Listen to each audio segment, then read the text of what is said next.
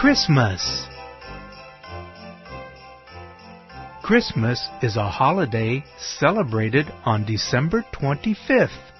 There are many things we see and do during the Christmas season. On Christmas, we put up a Christmas tree. A Christmas tree is decorated with tinsel and ornaments. A Christmas tree can have an angel on the top. A Christmas tree can also have a star on the top. On Christmas, we see Santa Claus. Santa is a Christmas symbol. Reindeer are Christmas symbols too.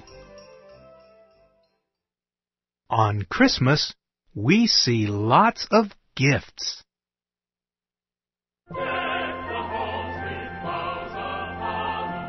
On Christmas, we see people caroling. That means singing holiday songs. On Christmas, we see people drinking a special holiday treat called eggnog. Christmas is a time for giving. Christmas is a time for sharing. Christmas is a time for being with family. Christmas is a wonderful time of year.